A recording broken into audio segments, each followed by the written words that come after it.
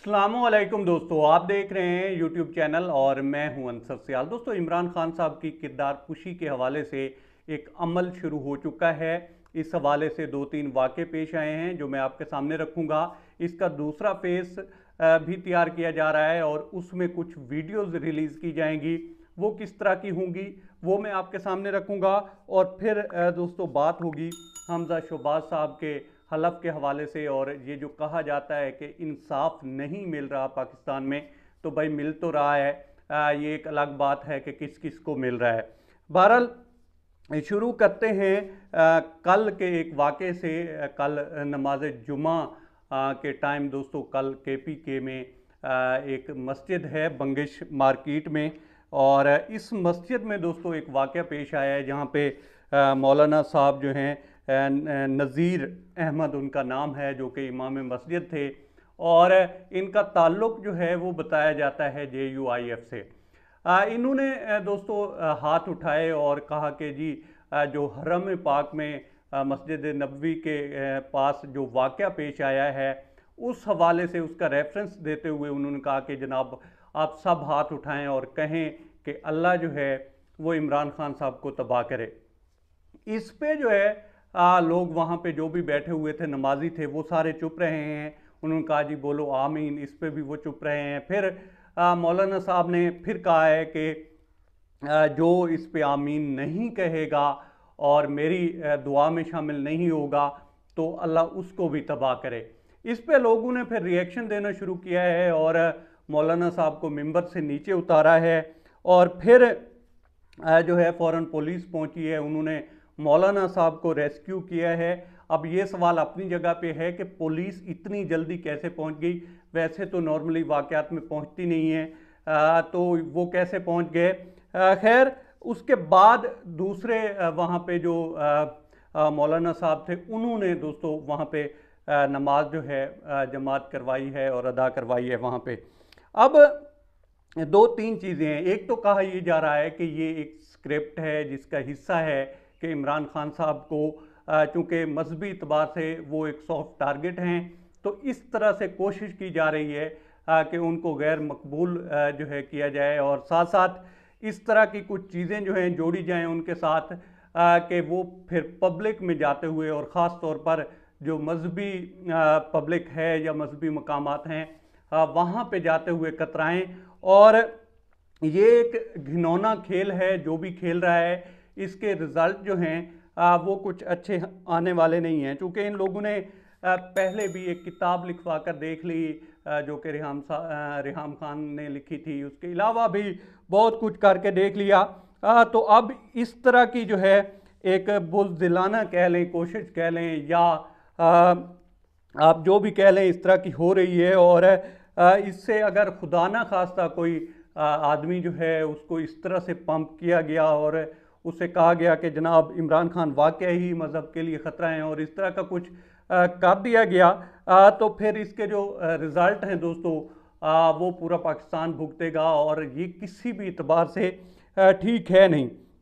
अब अगर हम बात करें दूसरे फ़ेज़ की तो कहा यह जा रहा है दोस्तों के दूसरे फ़ेज़ में भी इमरान खान साहब की जो है कुछ डॉक्टर्स वीडियो जो हैं उनके ऊपर काम चल रहा है और इसमें से एक कह रहे हैं कि इस तरह की वीडियो तैयार की जा रही है कि जो दो से तीन मिनट की होगी और उसको ईद के बाद जो है मार्केट में फेंका जाएगा। लेकिन उससे पहले आ, कोशिश की जाएगी कि मामला जो हैं इमरान खान साहब से सेटल किए जाएँ और अगर ये नहीं मानेंगे तो फिर इस तरह की जो है हरकत की जाएगी और इनको गैर मकबूल करवाने की कोशिश की जाएगी। ये दूसरा फेस होगा। पहले फेस में इस तरह की कोशिश की जा रही है कि हर अमल को जो है वो मज़हब से जोड़ा जा रहा है और हर अमल को जो है, इस तरह से बताया जा रहा है कि नौजबिल्ला, यहाँ पे भी इमरान खान साहब जो हैं गुस्ताखी कर रहे हैं।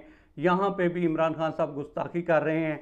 अब दूसरे फ़ेज़ में जब वीडियोस वगैरह जो हैं, वो तैयार की जाएँगी और उनको मार्केट में फेंका जाएगा तो इसमें कहा यह जाता है कि कुछ ऐसे लोग जो कि पीटीआई को छोड़ कर आए हैं, उनका बहुत कलीदी किरदार होगा और उसमें ओन चौधरी साहब का जो है मुबैना तौर पर नाम लिया जा रहा है और उसके किसी लैपटॉप का भी ज़िक्र किया जाता है।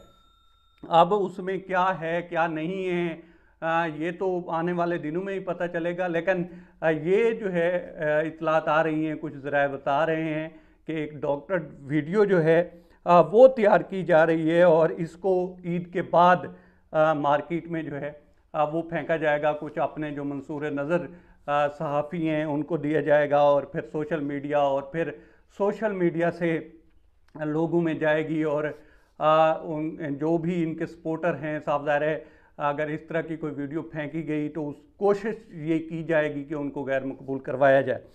आ, अब अगर हम बात करें दोस्तों इंसाफ के हवाले से कि हम यहाँ पे बहुत ज़्यादा बातचीत करते हैं कि जनाब इंसाफ नहीं मिल रहा और ये हो रहा है वो हो रहा है तो भाई इंसाफ तो मिल रहा है। देखें ना कि नमाज़ जुम्मा से पहले जो है, एक केस लगता है और उसके बाद जनाब अदालत बैठती है और अदालत इस नतीजे पे पहुँचती है कि हम 9 बजे जो है 9 बजे के लगभग इसका फ़ैसला सुनाएँगे और जनाब फिर फ़ैसला सुना दिया जाता है और फ़ैसला ये आता है कि हमज़ा शबाज को जो है हलफ उठवाया जाएगा और वो हलफ उठवाएँगे या लेंगे कौमी असम्बली के स्पीकर। अब मेरे लिए इससे पहले मैंने इस तरह का कोई वाक़ नहीं देखा। हो सकता है मे बी हो, मैं तब सियासत में इतना ज़्यादा दिलचस्पी ना ले रहा हूँ। लेकिन मैंने कम अज़ कम नहीं देखा कि कौमी असम्बली का स्पीकर जो है, वो इस तरह से आकर सूबाई असम्बली के स्पीकर से जो है हलफ ले।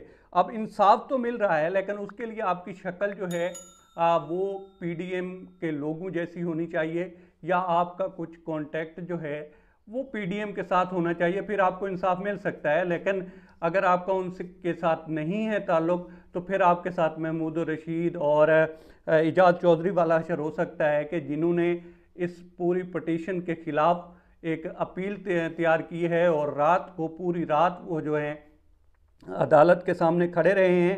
लेकिन वो अदालत जो कि 11-12 बजे नॉर्मली खुल जाती है अगर इमरान खान साहब को हटाना हो आ, तो वो उस उनके लिए नहीं खुली। क्यों? क्योंकि उनकी जो शक्ल थी वो पीडीएम वगैरह से नहीं मिलती थी और पीडीएम के साथ उनका कोई कांटेक्ट भी नहीं था बल्कि वो उनके ख़िलाफ़ थे तो इसके लिए वो नहीं खुली। आ, तो आज हमजा शबाज जो हैं वो पूरी कोशिश है कि उनको हलफ उठवा दिया जाए। वो जिन जिन की भी कोशिश है आ, उसमें वो काफ़ी हद तक कामयाब होते नज़र आ रहे हैं। लेकिन इसका असर क्या होगा?